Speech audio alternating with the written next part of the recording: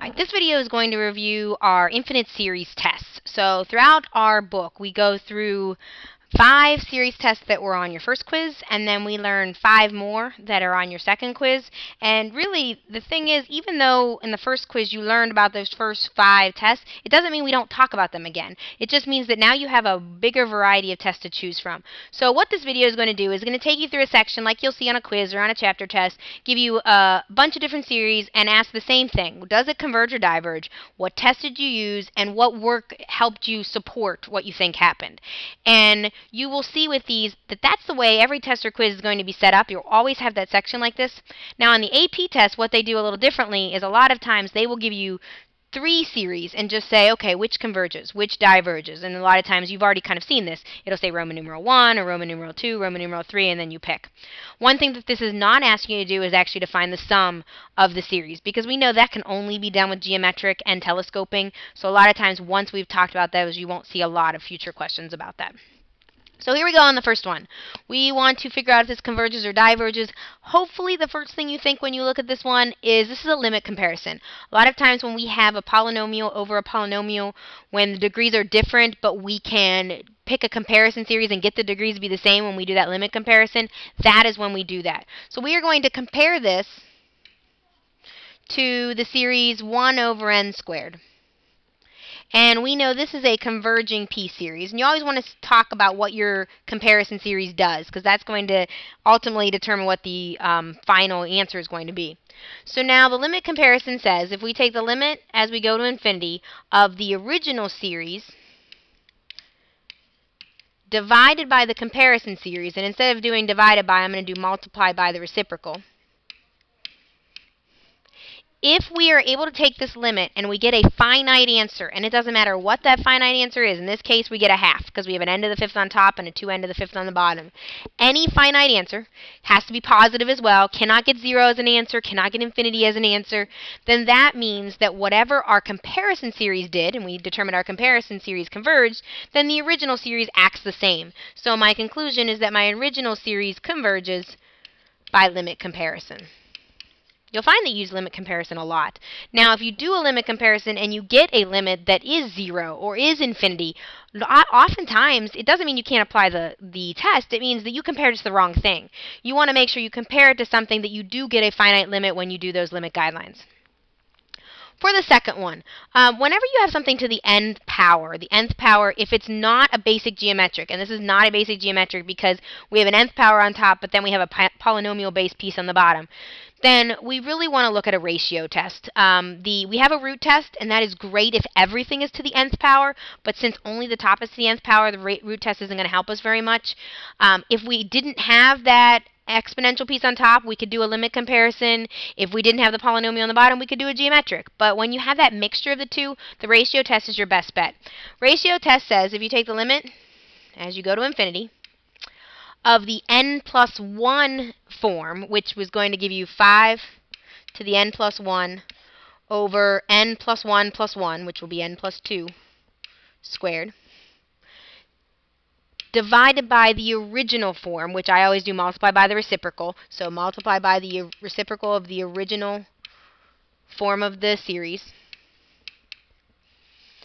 Simplify that. So when you simplify 5 to the n plus 1 over 5 to the n, you end up with just a 5 on top. I can't do anything with the n plus 1 squared over the n plus 2 squared. But now I can take the limit because I can apply limit guidelines. I know the top is going to be a 5n squared if I multiply it out, and the bottom is just going to be an n squared if I multiply it by out, uh, out. So if I do my limit guidelines, I get 5.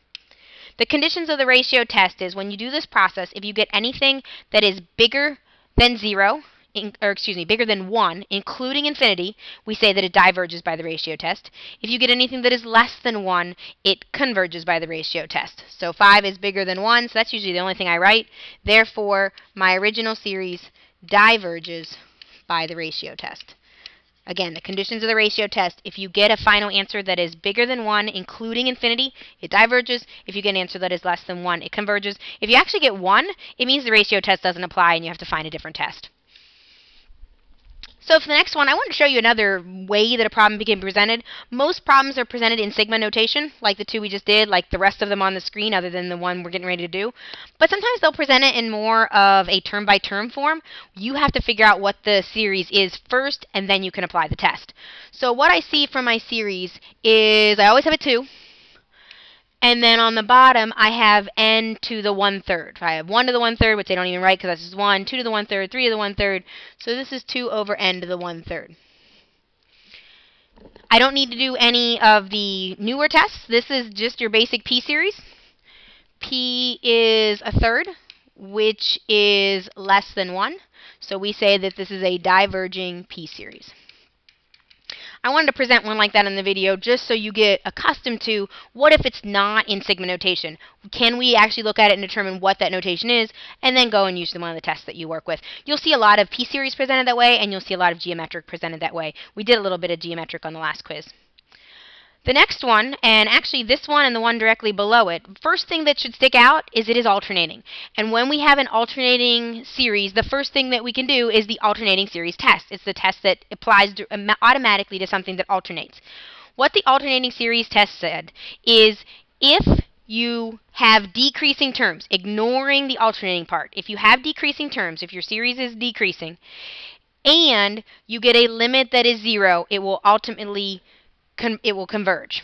If it's not decreasing or my limit isn't zero, it diverges. Now, do not get hung up on the whole decreasing piece because I've never seen a problem that doesn't present it as decreasing. What you really want to check with this is what happens if I take the limit as we go to infinity of everything that is not the alternating part. So ignoring what is alternating, ignoring the negative 1 to the n or the negative 1 to the n plus 1, look at this limit. If you get 0, then we automatically say, well, then it definitely converges by the alternating series test, or AST. If you get anything other than 0, like this one, we get a limit of a half, that is not 0, we can say that it diverges, but your reason actually isn't the alternating series test. This is my nth term test. It fails that alternating series test, but it uh, then falls into my nth term test. My nth term test said if I got a limit that was anything other than 0, then it, then it diverges. Now, we did talk in class, so we go, through the idea of being absolutely convergent versus conditionally convergent. Um, absolutely convergent means, okay, if I take the absolute value and ignore the, um, the alternating piece, would it just converge on its own?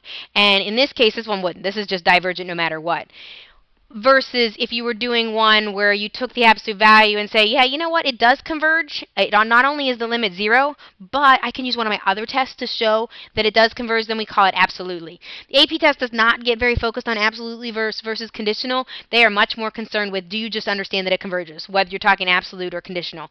So the AST, the alternating series test, is looking at the limit and seeing does it go to zero to get it to converge.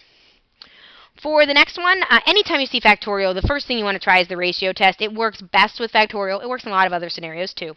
So if we do our ratio test again, it said we take our limit as we go to infinity of the n plus 1 term, so n plus 1 factorial over 2 times n plus 1 plus 1, divided by the original, so I always go to multiply by the reciprocal of the original.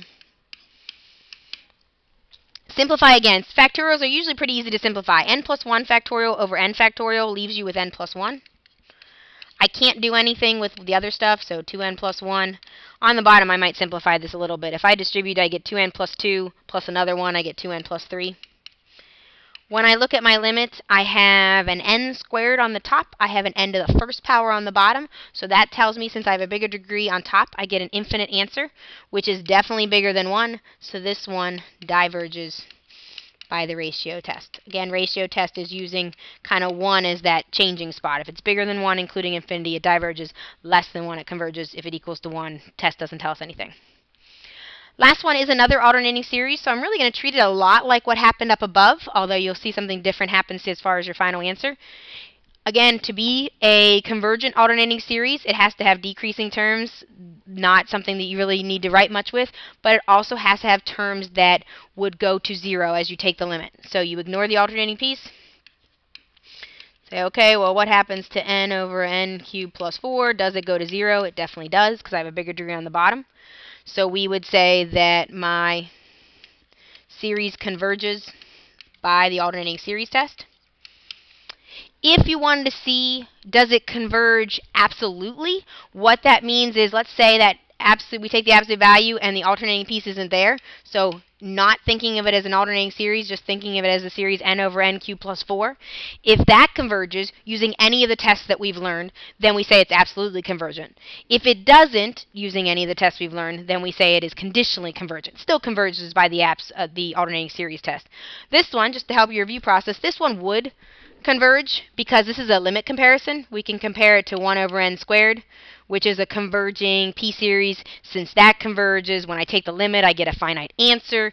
Therefore, my original would converge. Now, again, the question wasn't asking absolute or conditional, so the only thing you have to tell me is this right here, that you use the alternating series test and it converged. But just giving you some insight in some other terminology that you'll see this is a good mix of questions. Uh, I didn't get into any that were geometric. We did so much of that in the last quiz.